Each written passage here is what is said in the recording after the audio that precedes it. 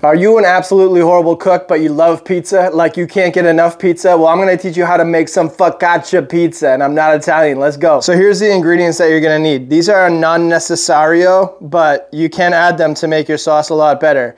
But we got some focaccia, we got some mixed cheese, we got some pepperoni, we got some salami, we got some Rao's. And I know Rao's is like under fire right now, but I still think it's dope.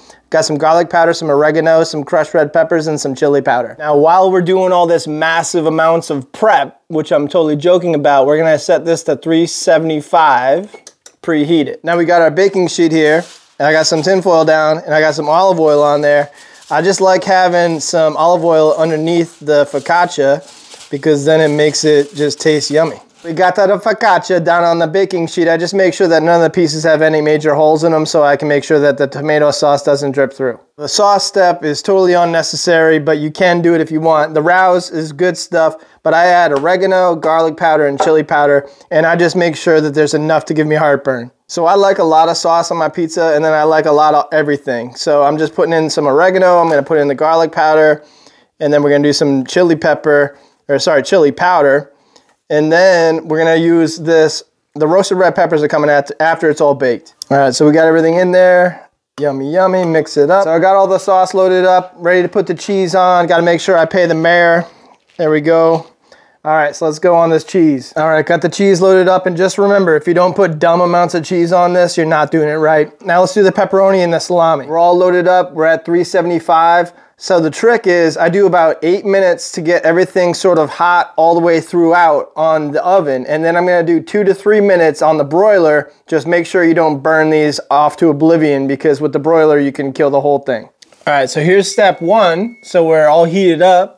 And now I'm gonna turn on the broiler. I'm actually gonna take this out for a minute while the broiler gets heated up. And then I got the upper rack where the broiler is gonna cook this thing for a couple minutes. That's been out about a minute. The broiler does not take long to get going. So we're gonna throw this in there for just a couple minutes. Just keep an eye on it but you want to just get the whole top looking good. Ah, I gave it too much. I gave it too much. It was like literally 30 seconds. It was perfecto. And then I gave it just that extra 30 seconds. So like a minute and 19 seconds and it would have been perfect or maybe a minute and 29 and one half seconds but that's what i'm saying about this broiler like you got to be careful because this could totally ruin everything uh, but that's still gonna be really good there's only a couple little spots now, the last step is you're gonna add on your roasted red peppers on top, just like you're at the restaurant, you know?